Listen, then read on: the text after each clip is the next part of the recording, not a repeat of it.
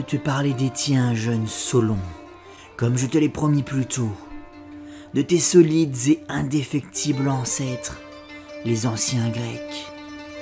Après leur humiliante défaite dans le désert égyptien, les Atlantes portèrent leur regard sur la rive nord de la Méditerranée, en particulier ta nation, la Grèce. Malgré leur rang significativement diminué, leur force affaiblie et la perte de leur armement de pointe dans le désert, les légions de Honsu, grâce à la furieuse détermination de leur leader et de son fils Kraken, renversèrent les vaillants guerriers grecs. Après de nombreuses et longues batailles acharnées, tes ancêtres, défendant avec vigueur et férocité leur sol, Honsu parvint au cœur de la capitale. Athènes, il y a 8000 ans.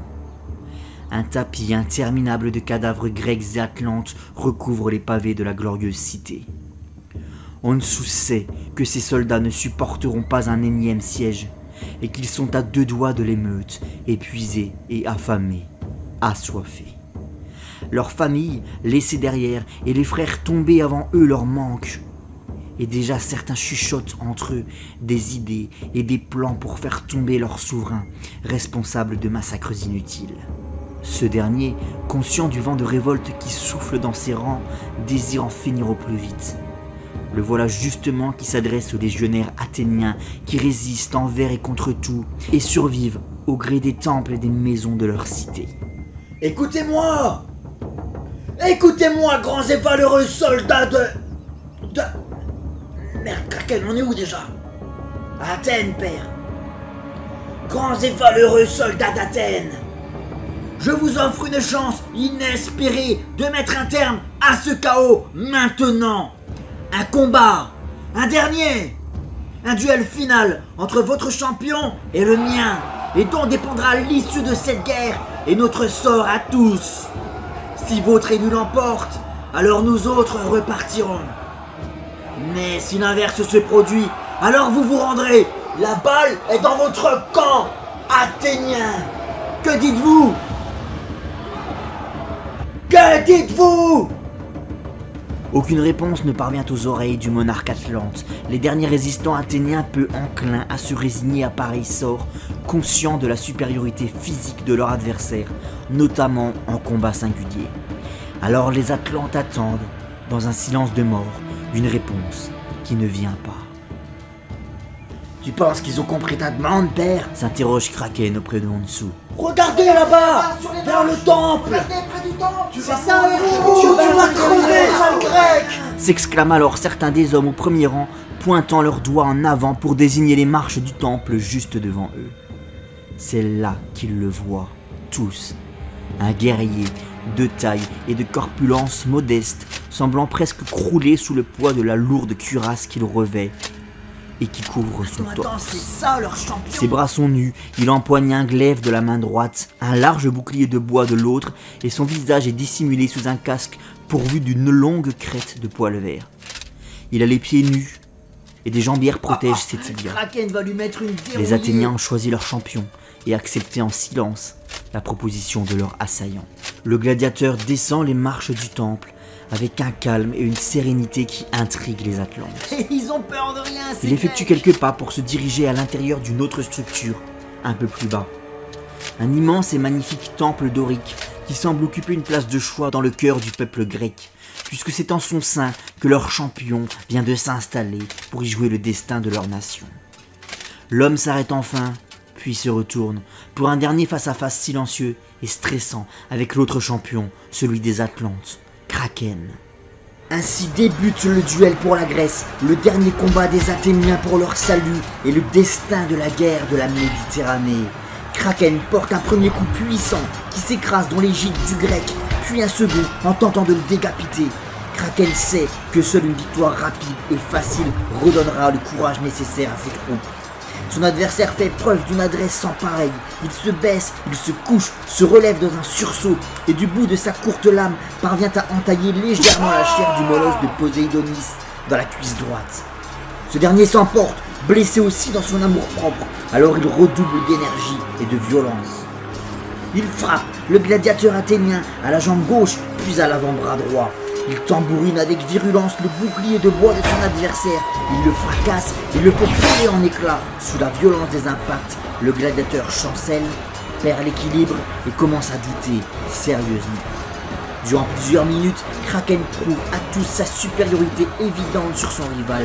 Il l'humilie, il le blesse, il crache sur son home la scène de coup de pied. Arrête de t'amuser avec lui, Kraken Tue-le vocifère en dessous à son fils dans le brouhaha des soldats qui hurlent et s'excitent tout autour. Allez, Kraken Allez, Kraken D'un féroce revers du bras gauche, Kraken flanque son bouclier dans la tête du gladiateur, puis avec un coup d'épée bien placé, envoie valser l'égide de bois qu'il brandissait jusque-là, à quelques mètres derrière lui. Le grec, privé de sa défense, meurtri, tient le coup. Il tente une frappe au visage de Kraken, mais le molosse la bloque et lui envoie une nouvelle fois son bouclier dans la tête. À présent, ils sont à armes égales, chacun dépourvu de son bouclier. Il ne leur reste plus qu'une seule solution, l'offensive. Les légionnaires atlantes hurlent tout autour, galvanisés par la démonstration de Kraken. Les Grecs, eux, terrifiés, restent silencieux. Kraken finit par propulser l'autre au sol et cette fois le désarme en projetant son épée bien plus loin. Ta tête ornera mon navire, Athénien lui assène-t-il à cet instant. Au sol, le grec évite une nouvelle tentative de frappe de Kraken. Il roule sur le côté et parvient à ramper rapidement vers un bord de l'arène. Kraken se rue sur lui. Il sait que sa victoire est imminente, qu'il n'a plus qu'à enfoncer sa lame dans la gorge de l'Athénien, alors à terre et sans défense. Le gladiateur se saisit d'une pierre dans les gravats sur lesquels il repose et qui l'entoure. Il roule encore une fois pour esquiver Kraken, dont l'épée vient s'enfoncer dans le sol pour s'y planter. Le grec profite de cette fraction de seconde pour contourner le fils du roi. Il lui saute dans le dos et lui enfonce la pointe du salut dans le. Le sang gicle du cuir chevelu de Kraken qui s'effondre, mort dans le sable du Parthénon. Kraken Kraken Relève-toi, fiston Hurle Hansu, choqué par un spectacle auquel il ne s'attendait pas. Hansu accourt vers le corps de son fiston. Il le prend dans ses bras en lui hurlant de se relever et de terminer le combat. En vain, c'est trop tard. Kraken ouvre une dernière fois les yeux, puis il admire son père, et conscient de la mort qui vient le chercher, il lui soupire dans son ultime souffle. Papa Papa Je... Je suis. Je suis désolé, papa.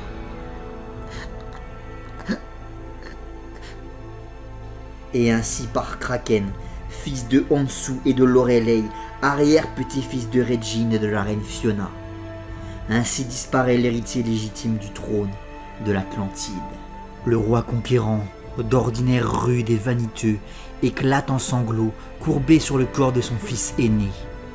Et en ce terrible jour pour la lignée royale, il découvre cette particularité de la surface. Ici, on les appelle les larmes. Ici, on les sent couler le long du visage. Il n'y a nul courant pour les emporter. L'interpelle le bourreau de Kraken, le gladiateur grec qui jusque-lors contemplait la triste scène, impassible. Il continue de s'avancer vers Ansu, qui ne lui répond mot. Peut-être. Peut-être. Peut-être aurais-tu préféré, en dessous de l'Atlantide, ne point les connaître. Peut-être aurais-tu préféré que ce soit moi qui tombe aujourd'hui, papa. Le guerrier retire son aume et fixe le souverain, resté à genoux dans le sable du Parthénon. Depuis tout ce temps, c'était le dernier fils qui livrait bataille au premier, défiant au passage l'autorité de son père, défendant l'honneur d'un peuple qu'il ne connaît pas au détriment de celui de sa famille. Va-t'en, père. Tu as détruit suffisamment de vie à la surface, et même en dessous. La première personne que j'ai tuée dans ma vie est mon grand frère, et c'est à cause de toi. Alors pars. Prends tes hommes et retournez en Atlantide. Je ne vous y accompagnerai pas, pas après tout ce que notre peuple a fait ici. Ceci est ma nouvelle demeure, et je t'ordonne de rentrer dans la tienne. Ainsi, les Atlantes regagnèrent leur monde d'en dessous. Hansu perdit à jamais sa soif de conquête, et plus jamais ses hordes ne déferlèrent hors du dôme de Poséidonis. L'île de Basilia sur laquelle les Atlantes avaient bâti leur place forte surfacienne coula peu de temps après, de leurs propres mains d'ailleurs, supposeront certains. monde, quant à lui, resta à la surface comme il l'avait annoncé. Jamais il n'oublia les siens, ni le royaume englouti qu'il l'avait vu naître. Jamais il n'oublia sa belle Donna. Jamais il n'oublia le sang de son propre frère sur ses mains. Ainsi se termine Solon de Grèce, l'histoire d'Atlantide telle que je la connais. Maintenant, je me fais vieux et ma tâche ici est accomplie. Te voilà porteur de mon savoir à présent. Te voilà nouveau chroniqueur de l'Atlantide. Alors va. Quant à moi, l'heure est venue de me retirer. Le vieux prêtre prend définitivement congé de son jeune interlocuteur pour se retirer dans sa chambre. Dénué de toute force, il s'allonge dans son lit, sous une chaude couverture qu'il tire sur ses épaules. À cet instant, un homme fait irruption dans la pièce. Tu es mourant. Et à présent que tu as enfin transmis l'histoire de notre peuple, alors tu laisses la vie te quitter. Va en paix au monde. Va en paix, mon frère. Cet homme qui s'adresse d'une voix sûre et posée au vieux prêtre n'est nul autre qu'Atlan. Lui, à l'inverse monde, n'a pas pris une ride comme si le temps l'avait complètement ignoré et oublié. Ses cheveux blonds brillent toujours du même éclat, et ses yeux bleus sont toujours habités du même feu. Je ne pensais pas que je te reverrais un jour, Atlan. Et je ne pensais pas te voir vieillir, ni mourir avant moi, lui répond son frère. J'en ai fait le choix. Je suis fatigué de tout cela. C'en est assez.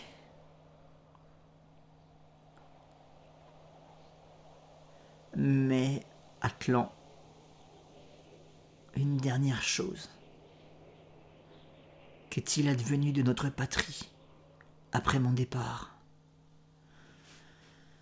Eh bien, sache que Kraken, avant la conquête, avait mis enceinte une prostituée de Poséidonis, des jumeaux. Ils ont grandi, puis se sont battus pour le trône. Puis l'un d'eux succéda en dessous. Une ère de violence et d'effroi au sein de notre peuple. Une de plus. Donna, elle, elle ne s'est jamais mariée. Elle ne t'a jamais oublié. Elle est morte de chagrin quelques années après ton départ.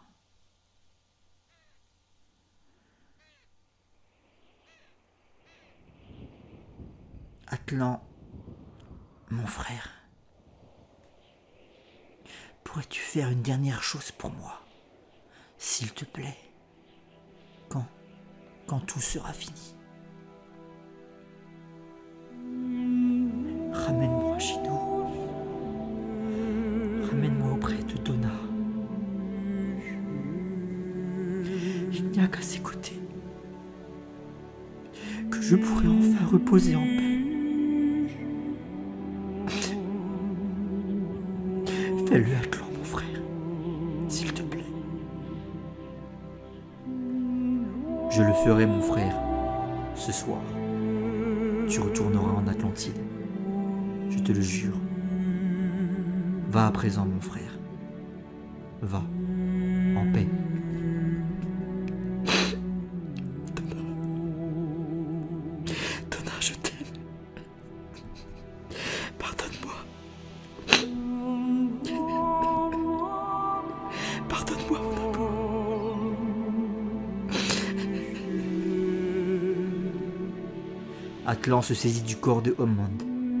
Il le soulève de son lit, puis quitte le temple en direction du rivage. Dans le soleil couchant, les deux frères disparaissent sous les vagues.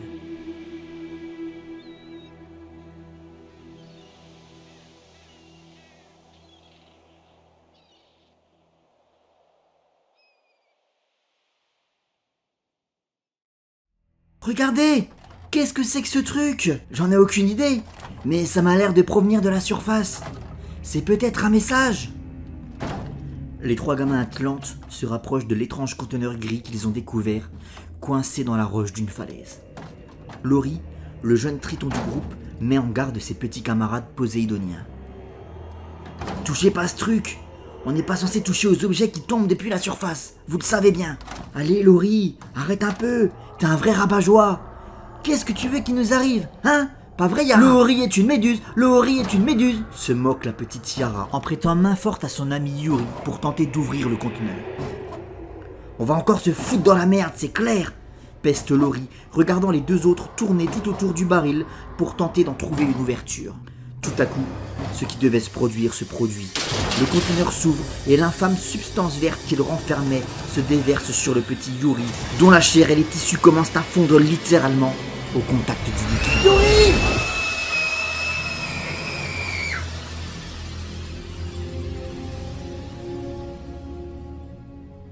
Atlantide, le XXe siècle.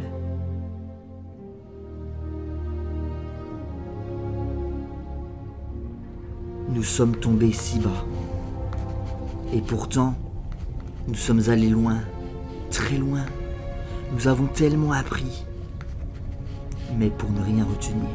Une belle jeune femme, à la chevelure châtain ondulée, aux yeux d'un vert émeraude, aux lèvres pulpeuses et aux traits gracieux, est allongée sur son lit, un épais grimoire sur les genoux dont elle remplit les pages vierges de la pointe de son stylo. Une fois de plus, nous avons laissé la peur et les superstitions prendre le pas sur le rationnel et la raison. Aurin n'aurait jamais toléré cela. Mais cela fait maintenant des milliers d'années qu'il n'est plus. Lui et tous les autres. Et moi, je rêve de tous ces gens d'une autre époque, nuit après nuit. J'imagine des visages que je n'ai pas connus. Je ne descends même pas de ces gens.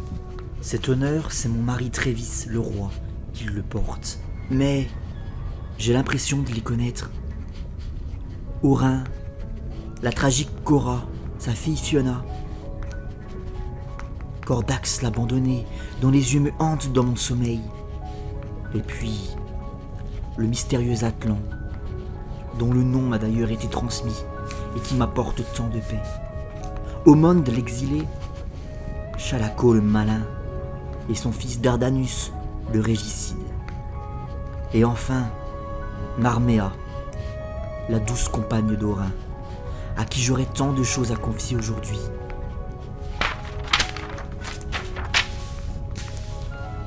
Je pourrais tenter d'expliquer, mais sans jamais chercher à le justifier, ce qui est arrivé à notre magnifique et fière cité.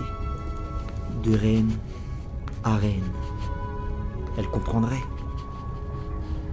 Elle qui a dû composer avec Chalaco en son temps, dont se réclament d'ailleurs les partisans du mouvement des nouveaux Chalakites. Eux qui ont transformé notre religion en quelque chose d'horrible et de dangereux. Eux qui ont remplacé nos textes sacrés portant sur la fraternité, sur l'amour, par des prédictions apocalyptiques et des légendes terrifiantes. La reine Atlana referme son journal, puis se lève pour se diriger à sa fenêtre où quelque chose, au dehors, là, semble avoir attiré son attention. Alors qu'elle s'y penche, elle le voit. Là, au loin, bien au-delà du dôme, debout sur une falaise. Il se tient. Il la regarde, emmitouflé sous une large cape de peau brune, le visage dissimulé sous son capuchon. Puis, il tend la main droite en direction de la reine. Atlana. Atlana. Atlana. Atlana. Atlana, debout Atlana, réveille-toi Atlana, debout. Oh La délicieuse reine se réveille en sursaut, tirée de ses songes par son mari qui vient d'entrer dans la suite royale. Oh, Travis, je. J'ai dû m'assoupir en rédigeant mon journal. Je. Je suis désolé. Et moi, désolé de t'annoncer que c'est l'heure de la cour, alors prépare-toi. Oh non, pas ce cirque encore. Autrefois, la cour du roi et de la reine d'Atlantide avait un sens. Aujourd'hui, c'est le conseil qui décide de tout. Et ce satané calandro qui les tient tous, qui plus est. La cour n'est plus qu'une vaste farce, un spectacle mensonger pour notre peuple. Peut-être as-tu raison, Atlana, mais nous sommes le roi et la reine de l'Atlantide, et nous devons démontrer suffisamment de... Ah, qu'est-ce que c'est que ça? T'as recommencé, Atlana Travis interrompt sa phrase pour désigner, suspicieux, le livre que sa reine tient dans ses mains. Puis il reprend pour faire remarquer à la jeune femme. Tu écris la suite des chroniques, c'est ça? Tu sais bien que Calandro n'approuverait pas du tout s'il le savait. Lui et ses fidèles ont fait interdire les chroniques, et toi, tu t'amuses à le reprendre. Je, me fous de ce que ces crétins superstitieux pensent, s'offusque alors la reine. D'après eux, les problèmes de notre nation ont commencé avec le début des écritures. Les chroniques ont énervé les dieux, le dôme a énervé les dieux, la science, la technologie ont énervé les dieux. Pour cet abruti de Calandro, absolument tout a énervé les dieux. Tous les jours, il nous promet encore et encore de nouvelles horreurs à venir, toutes pires les unes que les autres. On a déjà sombré au fond de l'océan, alors c'est quoi la prochaine étape? Au centre de la Terre? Atlana, s'il te plaît, calme-toi. Et pourquoi le devrais-je? Pourquoi devrais-je me calmer alors que cet enfoiré se joue de notre incapacité à pouvoir faire des enfants? Ça, ça je le supporterai jamais, Trévis. Ça me fait trop mal. Je, suis la première reine dans l'histoire d'Atlantide, incapable d'offrir à son peuple un héritier au trône. À cause de moi, la lignée royale va s'éteindre définitivement. Comment veux-tu que je supporte ça? Trévis, bouleversé, passe sa main autour du cou de sa femme pour essayer de la rassurer. Arrête, chérie. Tu sais que, que c'est pas ta faute. C'est la mienne.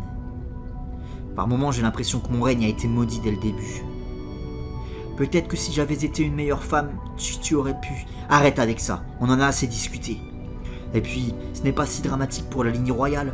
Mon petit frère Yuri pourra prendre la succession si je le désire. Et tu sais, je ne regretterai rien du tout si cela venait à se produire. J'ai du mal à tenir ma position et à en supporter la charge, de plus en plus. Si mon règne venait à prendre fin, je serais le premier soulagé. Le peuple défile sous les yeux du roi et de la reine comme à l'habitude, les suppliants les assaillent de leurs requêtes personnelles et Travis acquiesce sans plus de cérémonie et se contente de répondre à chacun d'entre eux avec la plus grande des courtoisies la réponse qu'ils désirent entendre. Un vieil homme leur fait part de sa dernière trouvaille, une étrange relique repêchée dans l'Atlantique Nord, circulaire et d'envergure moyenne, comme un anneau de tissu rempli d'air et frappé de cette étrange inscription. USS Titanic. Travis accepte l'offrande du vieillard et le remercie avant de faire face au suppliant suivant. Calandro. Le regard noir, une barbichette précise et fendue en deux parties parfaitement égales, une fine moustache noire courant sur la lèvre supérieure, revêtue d'une longue toche de cérémonie mauve et aussi noire que ses cheveux et coiffée d'un chapeau barrette. Calandro, entouré d'une dizaine de fidèles emmitouflés eux aussi dans des capes brunes recouvrant l'intégralité de leur corps, capuchons rabattus sur leur tête, s'avance vers Trévis. Laissez parler Calandro Votre Majesté, mes fidèles et moi-même, nous demandions ces derniers temps si tout se passait bien autour de vous. Eh bien, ça m'en a l'air, Calandro. Je ne comprends pas très bien le sens de votre requête. Prêtre, Atlana ne met pas très longtemps à s'interposer. Prêtre, avez-vous une requête ou une recommandation claire à formuler à votre roi? Si ce n'est pas le cas, je vous prierai de bien vouloir céder la place. Nous avons beaucoup à faire ici. Reine Atlana, je me présente à vous comme suppliant en ce jour. Je suis venu quérir votre bénédiction et votre soutien à tous les deux pour la construction d'un temple dédié à la mémoire de Chalako. Furieuse, Atlana bondit hors de son siège. Vous revoilà encore avec votre requête stupide Chalako, Orin et tous ces gens n'étaient que chair et sang, comme nous tous dans cette salle, et non des dieux vers lesquels tournaient nos prières. Au secours Au secours Aidez-la Aidez-le Oh mon dieu, Le c'est le frère du roi interrompt brusquement la reine, déboulant dans la salle du trône, le petit Yuri dans ses bras, inconscient, et Yara lui emboîtant le pas, tous deux complètement paniqués. On n'a pas fait exprès. C'était un accident. C'était pas Vite notre faute. se justifie en hurlant d'angoisse Yara. Travis se rue vers les enfants pour y trouver son jeune frère plongé dans un profond coma, recouvert d'une étrange substance Laurie chimique verte, Laurie Laurie, pestilentielle et gluante. Laurie, je t'en prie, réveille-toi. S'il vous plaît, Seigneur Ne vous fâchez pas. On... C'était pas notre faute, c'était un accident. C'était pas notre faute. Silence. Vite. Qu'on alerte tous les médecins de la ville. Et Vulco, notre meilleur scientifique Il saura mieux que quiconque dans cette cité quoi faire. Trouvez-le, et vite. Laurie, donne-moi Yuri, je l'emmène à l'hôpital sans attendre. Durant sa course effrénée, cramponnant son petit frère de toutes ses forces, Travis tente d'enlever le produit qui recouvre le frêle corps de Yuri, mais en vain. Il finit par arriver à l'hôpital où les meilleurs médecins de la ville les Tiens attendent. bon, tiens bon Yuri. Mais la mort fut plus rapide et le petit Yuri ne regagna jamais conscience.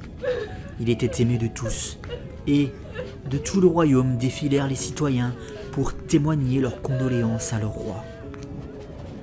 Même les idyllistes le voyage depuis leur vallée lointaine. Mon cher Trévis disparut de plus en plus au fil des semaines qui suivirent la perte tragique de son petit frère. Une perte qui le condamnerait d'ailleurs à rester sur le trône jusqu'à la fin. Cependant, dans toute la torpeur qui s'abattit sur le royaume, un homme se réjouit de telles circonstances. Calandro, qui ne manqua pas l'occasion de profiter de la situation pour se manifester au conseil royal qui suivit, quelques jours après les obsèques de Yuri. Alors, Trévis, que comptez-vous faire à présent? Faire quoi? De quoi me parlez-vous, prêtre? De ce nouveau signe qui témoigne de la fin de l'Atlantide telle que nous la connaissions? J'osais espérer que la mort de votre frère vous fasse ouvrir les yeux quant à l'urgence de la situation. Vulco intervient alors afin d'épargner à son seigneur la peine de répondre aux allégations de Calandro. Calandro, par les sept mers, que nous racontez-vous là? Vulco est un des plus fidèles vassals de Trévis et le scientifique le plus pointu du royaume. Il est de corpulence généreuse, petit mais robuste. Un bouc orne son menton, pourvu d'une fine moustache délicatement retroussée, et ses cheveux noirs sont plaqués en arrière. Tu saurais parfaitement de quoi je veux parler, Vulco, si tu n'avais pas ta tête enfoncée dans ton derrière. Bravo, Calandro. Une bien belle image d'une posture néanmoins relativement curieuse, et qui requiert un tant soit peu d'imagination et de poésie. Le roi est en plein deuil.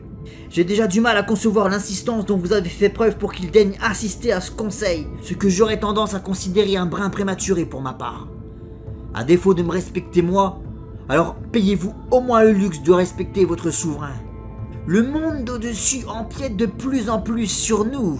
Il nous asphyxie chaque jour davantage. Tout ça parce que les ancêtres de notre roi bien-aimé se sont montrés incapables de le soumettre une bonne fois pour toutes, quand cela était encore possible. Aujourd'hui, l'indignité nous accable et nous mourrons dans les mains des surfaciens. Ils considèrent notre monde comme leur décharge, leur poubelle. Et nous, nous restons là à les regarder faire. Vous condamnez notre monarque pour les actions de ses ancêtres. Où sont passés votre sérieux et votre pragmatisme, prêtre? Les signes sont partout, Vulco. Les dieux autorisent les surfaciens à nous empoisonner et ils empêchent à notre roi et notre reine de produire de nouveaux héritiers. Notre peuple n'a pas connu de période plus sombre depuis qu'il a sombré.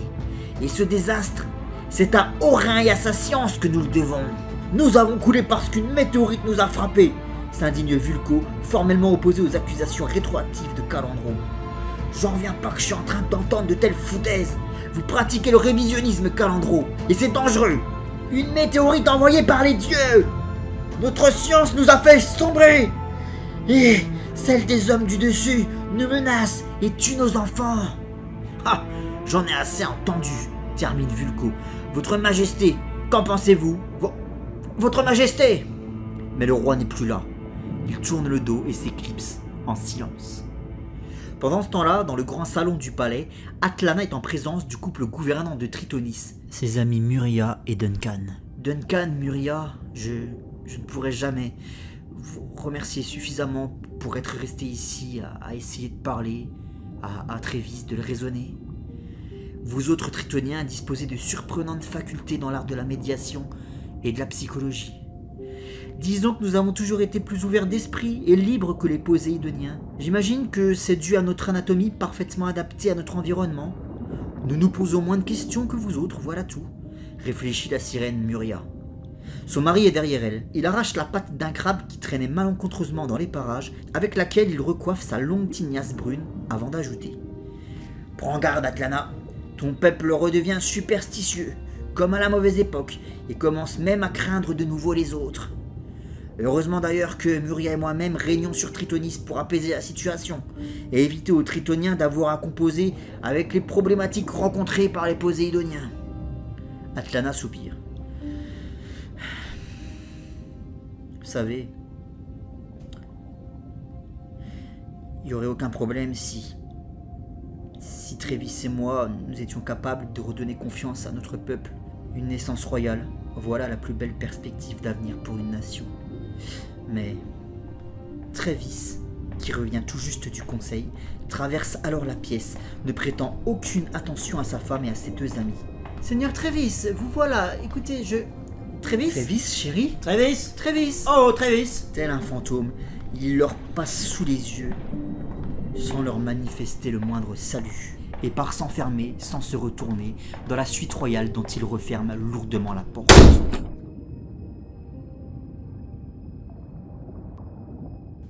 Depuis la mort de Yuri, les événements sont allés de mal en pis pour mon mari Trévis. Là, désenchanté, presque léthargique, il s'enferma dans un mutisme profond, ne devenant plus que l'ombre de lui-même et délaissant tous ceux qui l'entouraient, moi la première. Tandis que, de leur côté, Calandro et ses néo-chalakites étendaient davantage leur emprise sur le conseil, profitant de la passivité du roi et se délectant à chaque instant de leur triomphe sournois et pervers sur leur souverain. Et puis vint ce soir, qui restera à tout jamais le plus grand de mes secrets. C'était une de ces nuits trop calmes, qui voyaient Trévis sombrer très vite dans un long et profond sommeil, me laissant seul en tête à tête avec le plafond de notre chambre que je fixais désespérément, perdu dans mes pensées, peinant à trouver le sommeil à mon tour. Atlana, Atlana, Atlana. Cette voix, encore. Ce murmure, envoûtant, résonna depuis l'autre côté du dôme jusqu'au plus profond de mes entrailles. Je quittai le lit pour sortir sur le balcon, et je la vis, à nouveau, cette silhouette, juchée sur un immense piton rocheux, dissimulé sous un large manteau de peau brune. Elle m'appelait depuis le lointain. Atlana. Alors, J'exauçai son souhait. J'enfilai une cape de Trévis pendue au mur de l'entrée et je me faufilai en dehors du palais, puis en dehors du dôme, pour la rejoindre. Atlana, viens à moi de ta propre volonté. Vole à ma rencontre. Moi seul peux changer ton destin et celui de l'Atlantide. Il y a fort longtemps, une belle princesse fut arrachée à la jeunesse et privée de son innocence au cours d'une nuit aussi sombre que l'enfant qu'elle engendra par la suite. En t'offrant à moi de ta volonté propre, tu annuleras la malédiction qui sévit sur ton royaume depuis des millénaires. Mais le souhaites-tu, Atlana? Le désires-tu vraiment? Je. Je ne sais pas. Je ne désire que le bien de mon mari et de mon peuple. Je ne désire que leur offrir un héritier royal, fort et fier. Alors je te le donnerai, reine. Je te donnerai un fils qui offrira au peuple de l'Atlantide un idéal à atteindre. Ils se rueront sur ses pas, ils trébucheront, ils tomberont, mais il les unira tous au-dessous de la surface jusque par-dessus ces montagnes. Et au moment venu, il les guidera à nouveau vers la lumière. Au moment venu, il les aidera à accomplir des miracles. Il deviendra le plus grand roi des sept mers et le sauveur de l'océan. Mais qui, êtes-vous? Je suis le passé d'Atlantide, son présent et son futur. Je suis sa chair, son sang et son esprit. Je suis celui que les dieux ont choisi pour vivre des milliers de vies. Je suis celui qui ne revient que lorsque la roue du destin de l'Atlantide ne tourne plus. Je suis celui qui assure la force et le courage dans le cœur des souverains atlantes. Et cette force doit ressurgir et briller de nouveau. Je suis Atlan. Je suis, je suis Atlan. Et je t'ai choisi, reine Atlana. Je me laissai tomber dans ses bras musclés et sur ses lèvres parfaites. Cette nuit fut la plus merveilleuse de mon existence. Je fus à lui, entièrement. Et il prit soin de moi comme jamais personne ne l'avait fait jusque-là. Je sais ce que penseront les gens de moi, qu'ils me jugeront comme une femme infidèle. Mais en réalité, Trévis, tout ce que j'ai fait ce soir-là, je ne l'ai fait que pour toi. Je ne l'ai fait que, que pour te voir heureux à nouveau. Avec ton fils tes bras. C'était comme un rêve. Un merveilleux rêve. Son esprit en parfaite symbiose avec le mien. De la lignée d'Orin, ton fils héritera de la sagesse et d'une stature de chef. Il sera un très grand guerrier, l'un des plus grands, l'un des plus honorables que le monde ne connaîtra jamais. De la lignée de Chalako, il héritera d'un contrôle absolu sur les créatures de la mer. Il quittera Atlantide, mais finira par y revenir.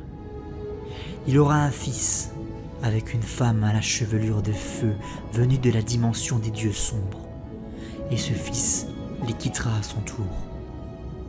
Il combattra ses démons intérieurs causés par la dualité de son héritage génétique, et il défiera son demi-frère pour le destin ultime de l'Atlantide, comme Orin et Chalako avant lui, comme Fiona et Cordax, comme Omont et Kraken. À présent, Atlana, tu portes en toi l'espoir, celui du peuple des mers et de ceux des terres. Va, reine, et ne te retourne pas sur moi. Je m'efface au gré des courants. Réveille-toi au chaud dans ton lit, aux côtés de ton mari. Aime-le, chéris-le de tout ton être, et oublie-moi ce rêve. Je ne suis qu'une lointaine pensée, une conscience qui s'évanouit dans l'océan.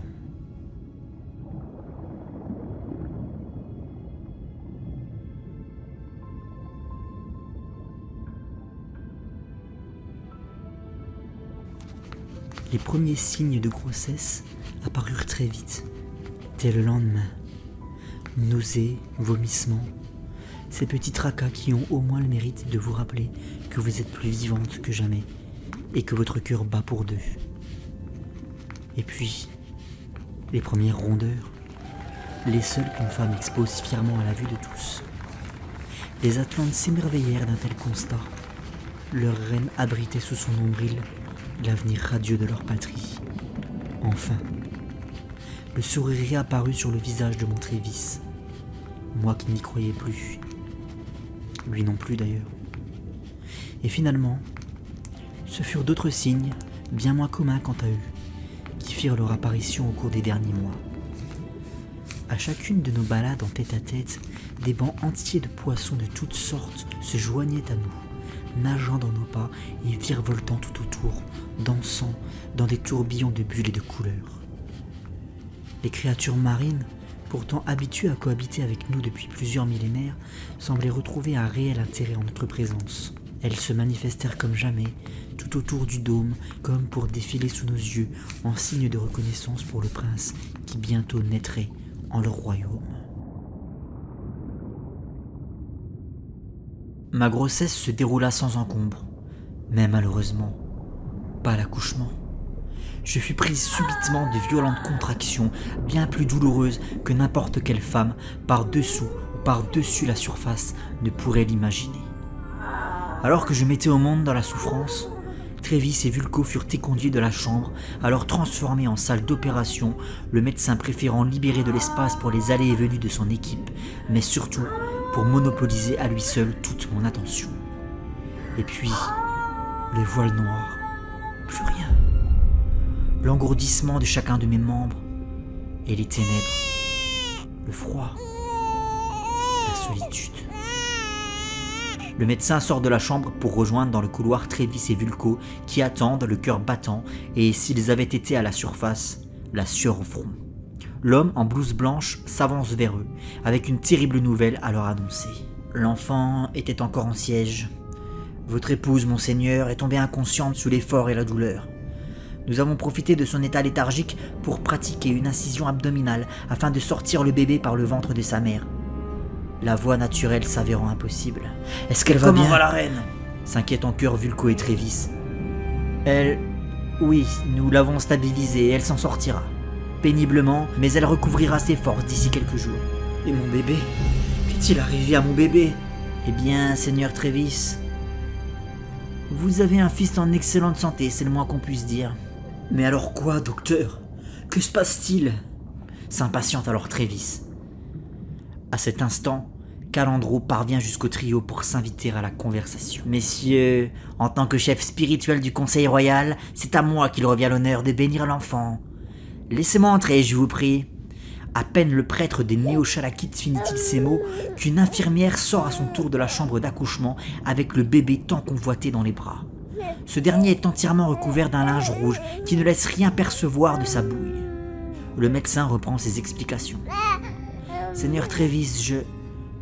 Je voulais vous préparer. Mais préparer à quoi, docteur Ah ça, mon Le seigneur signe de Le médecin découvre l'enfant sous les regards tétanisés de Trévis et Calandro. Deux petits yeux, d'un bleu intensément profond, les fixent, dans un mélange d'insouciance et de bienveillance. Ses cheveux sont blonds, parfaitement blonds, comme on n'en avait plus jamais vu dans le royaume depuis le départ de Cordax. Il. Il.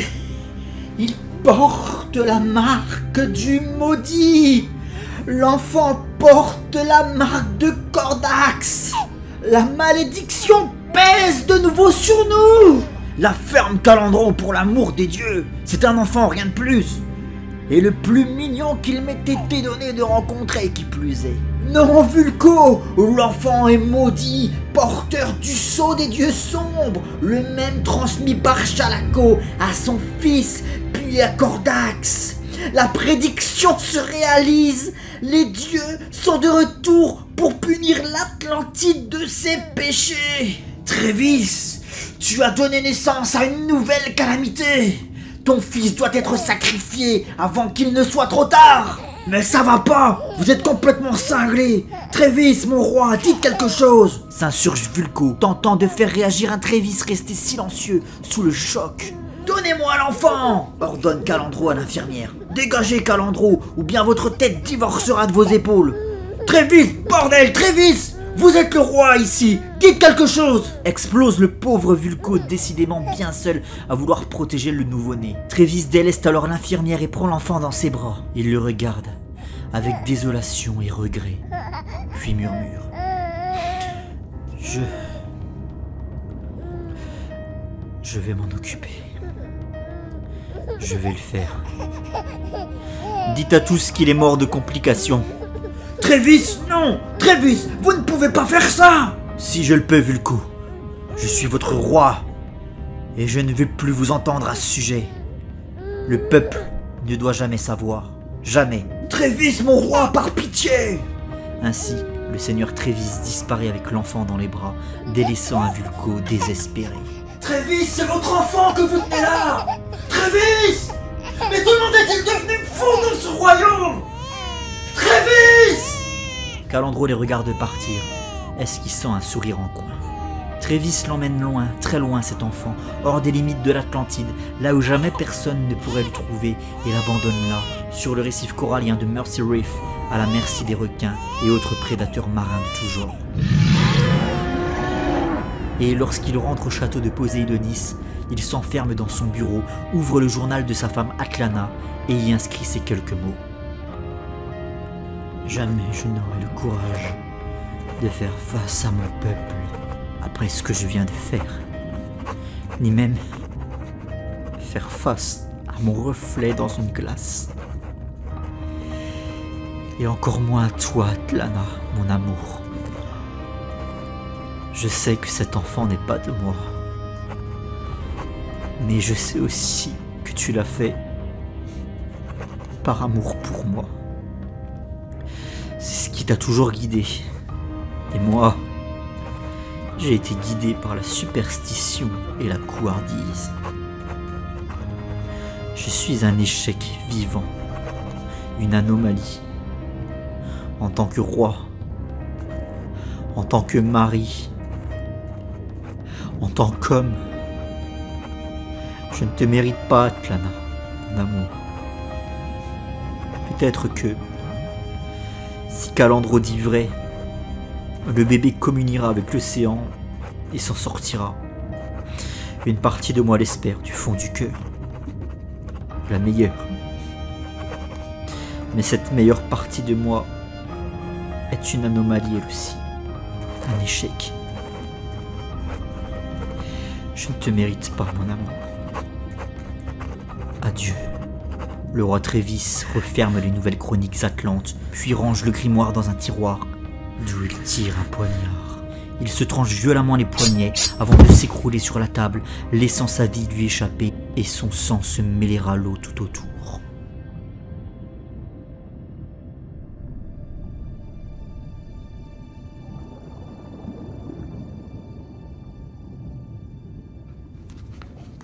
Mon amour est parti.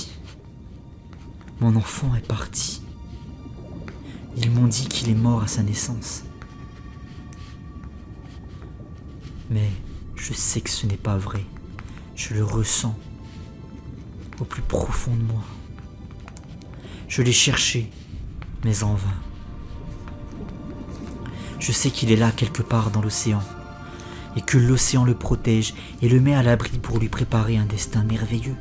Ta mort, mon amour, et les rumeurs de notre enfant né de la malédiction de Cordax ont eu raison définitivement de ce qu'il restait de bon sens en Atlantide. Calandro a fait enfermer tous les membres du conseil qui s'opposaient à lui, ou les a tout simplement fait disparaître. Ses partisans et lui règnent en maître ici, et Duncan, Muria et les autres Tritoniens ont été bannis de Poséidonis. L'histoire se répète, encore et encore et encore. J'ai trouvé refuge chez eux à Tritonis, mais Calandro me veut, et je ne souhaite pas risquer une nouvelle guerre. Alors je me rendrai avant que les néo-chalakites n'envahissent Tritonis pour me trouver. Ils me feront probablement prisonnière, mais après tout, rien de bien nouveau pour moi. J'ai toujours été prisonnière de mon propre destin. Lorsqu'ils me trouveront, ils trouveront également le journal. Ils le jetteront aux oubliettes comme ils l'ont fait avec les autres volumes des chroniques. Mais ils ne le détruiront pas. Ils oseront à peine le toucher, à vrai dire. Ils n'en ont pas le courage. Ils en ont peur. Ils en ont peur car le savoir les terrifie. Un jour peut-être, les livres et ce journal seront découverts et la vérité éclatera et reviendra s'installer ici. En attendant, je reste la dernière chroniqueuse de l'Atlantide et je n'ai plus rien à écrire ici concernant le passé ou le présent de mon peuple. Mais ce que je peux vous dire de l'avenir, c'est qu'un jour, mon fils prodige sera de retour, et avec lui l'espoir d'un monde meilleur, en dessous et par-dessus la surface.